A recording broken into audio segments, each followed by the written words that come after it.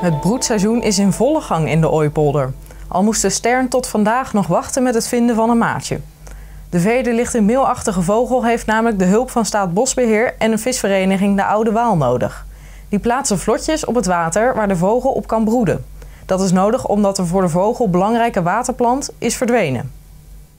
Wij bootsen nu eigenlijk uh, drijvende waterplanten na waarop die vogeltjes kunnen nestelen. En daar leggen we een stukje grasmat uh, omgekeerd op.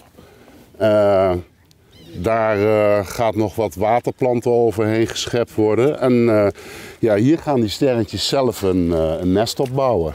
De sternen cirkelen als vakantiegasten op zoek naar een strandbedje boven het water om als eerste hun handdoekje neer te leggen. Dat niet gaaf? Hey? Het resultaat van een project dat Staatsbosbeheer al tientallen jaren uitvoert. Ik moet even zo manoeuvreren dat Janiek erbij kan straks. De, de zwarte stern is een, is een dier wat sterk onder bedreiging ligt. Het is een rode lijstsoort onder andere.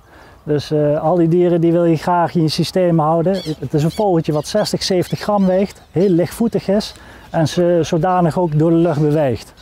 En zie je af en toe zie je zijn kopje naar beneden gaan, nou, dan is hij op zoek naar voedsel. Het is een puzzel om de situatie zo na te bootsen dat de jongen van de stern hier groot kunnen worden.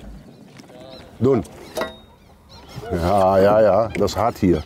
Ze hebben een maand nodig en de waterstand kan flink schommelen in mei. Wat wij doen, we, we zetten een ring over een paal heen met een drijver eraan, zodat de vlotjes met de waterhoogte kunnen variëren. En natuurlijk hebben niet alleen de vogels plezier van deze actie. En er komen straks heel veel mensen hier op die dijk zitten met verrekijkers, met camera's, met hele grote dure telelensen.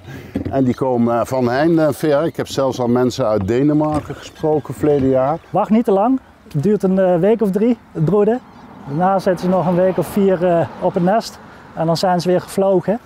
Dan gaan ze weer richting het IJsselmeer, van daaruit uh, naar West-Afrika.